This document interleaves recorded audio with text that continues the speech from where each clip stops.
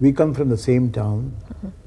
He was born in Peshawar, I was born in Peshawar, and our families knew each other. So as I stepped onto the studio for the first time along with uh, Dr. Masani, I came across Raj.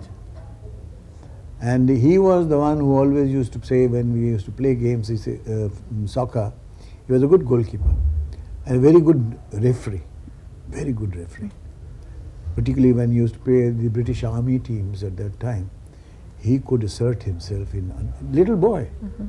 He was quite uh, nice and uh, buxom. so when I saw him, he used to tell me, "You get into films. We will both go to films." So I said, "No," because that was uh, not the done thing during those days to aspire to become go into films. मैंने कहा तुम जाना तुम्हारे अब्बा भी वही काम करते तुम भी वही करना He was the first man that uh, he met me there and he said, say I, I told you you will come to this place but I didn't come for an interview for work. It was for some other purpose. I was just accompanying Dr. Masani.